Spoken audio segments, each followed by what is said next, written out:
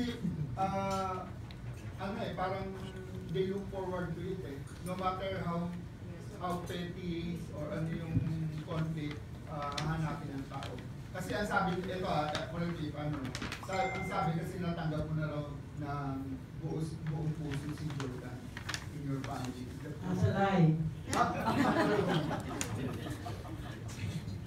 hindi ko nga siya maaway eh. Kasi pag nanonood kayo sa aming show, naiintindihan niya bakit hindi kami nag-aaway dalawa. Siyempre, iningatan ko siya kasi three times na nangyari sa kanya. Pag fourth, patay talaga siya. So, hindi ko matanggap na mawala sa buhay ko rin. Siyempre naman, anak ko yan eh, pero tinitiis ko lang yung mga ayaw ko sa kanya. Hindi ko lang pwede i-text sa kanya, hindi ko siya text. Wala kaming contact ngayon eh. Kasi text, block na ang phone ko eh. Hindi niya matatanggap text ko sa kanya. Sila ko pa kay Jimmy, yung lalay niya. Na Block lahat. Tapos, minura-mura ko siya. Kalap mo ko binablock, tarantala kang babae ka. Di ba natatanggap lahat yung mura ko sa kanya? So, pinapasa ko naman kay Jimmy. Si Jimmy naman, pag mali ng mga mura, hindi pinapasa kay Lupa. So, wala akong magawa. Tapos, nag-birthday siya, lahat imbitado niya. Tapos ako, hindi niya ako imbita, direct ha.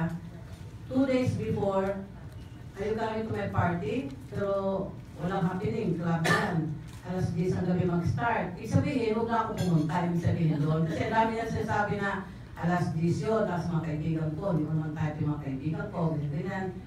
Sabi ko naman kay Lorin Beres, tingnan mo, nandun ba yung ano niya, bakit man dinimita. Kasi inimita niya lahat, ako last minute.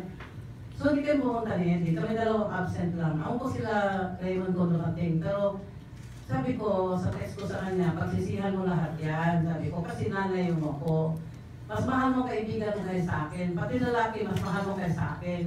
Bahala ka na. Kung ano mangyari sa iyo, at least ito, mamahal pa rin ako sa iyo. Ayaw kong mawala ka sa buhay, sa buhay ng sa mundong ito.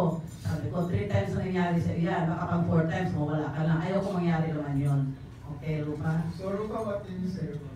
You know what? She blames me for her old lumang phone. It's not my fault I'm not getting her messages. Have you seen her phone? It's, it's like 1980s na phone na talagang hindi mo na halos magamit. So she thinks na pinagbintangan niya ako na I blocked her.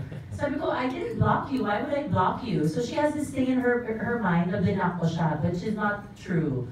And I did invite her, but I don't know where you were. You were in Cebu. I think you were in Davao. You were in Duterte. Nagdalaga ko sa anak mo, anong di mo alam? Nagdalaga ko sa anak mo. Alam mo